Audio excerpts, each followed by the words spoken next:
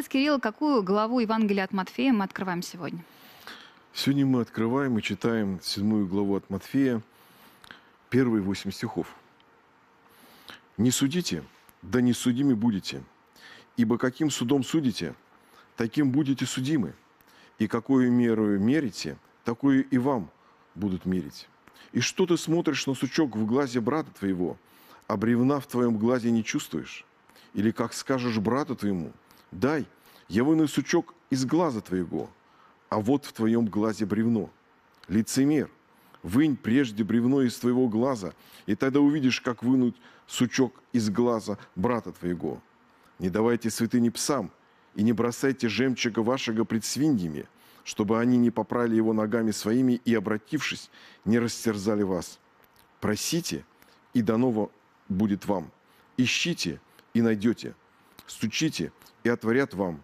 Ибо всякий просящий получает, и ищущий находит, и стучащему отворят. Традиционно обратимся сначала к нашему сюжету, затем обсудим этот отрывок. Обособленные или фарисеи – это во времена Иисуса Христа не только религиозное течение, но и политическая партия. Они по большей части не занимали высоких постов, но для еврейского народа оставались духовными лидерами и авторитетами. Две тысячи лет назад существовала такая пословица «Если бы только два человека попали на небо, то один из них был бы фарисей». В Библии фарисеи упоминаются в книгах Нового Завета и в основном противостоят Иисусу Христу, испытывают его, не принимают его учения. Фарисеи, помимо закона, который они стремились исполнить как волю Божию, верили в духов и воскресение мертвых. Они соблюдали множество внешних установлений и заповедей, которыми дополнили закон. Множество правил и условностей отдаляли фарисеев от соблюдения воли Божией и приводили к опасному лицемерию. В иллюстрации лицемерия фарисеев Иисус приводит их манеру осуждать других людей. Фарисеи осуждали и самого Христа, ведь Он предлагал им не такое царство, какого им хотелось, и призывал не к той праведности, которой они хвалились. Поэтому и они отвергли Его. Потом они будут насмехаться над распятым Господом. «Если ты Сын Божий, сойди с креста». Они будут кричать Ему – Других он спасал, а себя спасти не может. Они так и не смогут принять Иисуса. Его жертва, по словам святого апостола Павла, станет для книжников и фарисеев большим соблазном и камнем преткновения.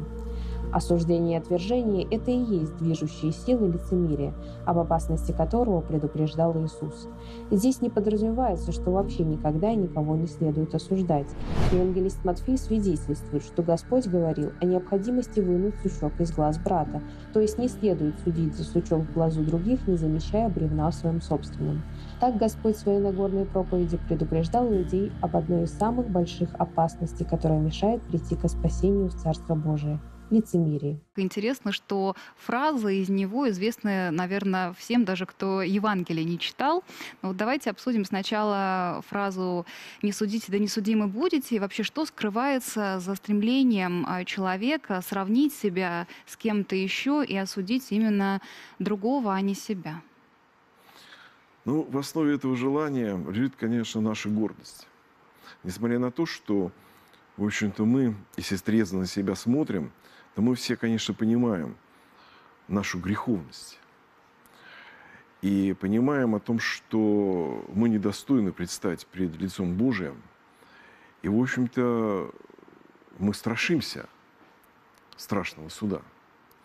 И вот Господь дает нам, указывает нам тот путь, по которому мы, следуя, можем избежать этого страшного суда – не судите, да не судими будете.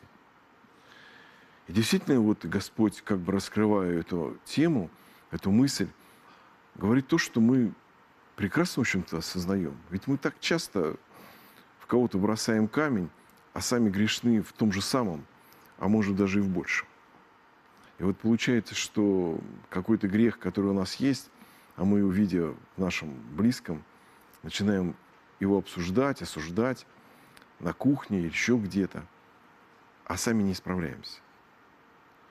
И вот исполнить этот, это правило, казалось бы, очень простое. Не судите. Оказывается, очень трудно.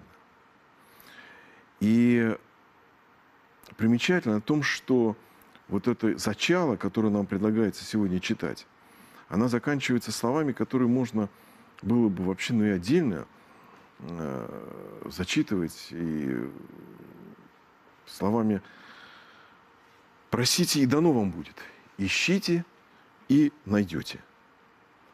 Это призыв наш к нам молиться. И вот, наверное, именно в молитве мы можем найти силы и возможность не осуждать близкого. Вот мы чаще всего вот эти слова «просите, и дано вам будет», «стучите и отворит вам», мы чаще всего применяем к нашей земной жизни. Угу. Вот что-нибудь случилось, давайте я попрошу у Господа. И Он обещал, что вот я попрошу, Он мне это даст. Но это нам все-таки, наверное, в первую очередь надо думать о том, как мы представим перед Господом. И надо нам в первую очередь молиться об том, чтобы совершенствоваться пред лицом Божиим.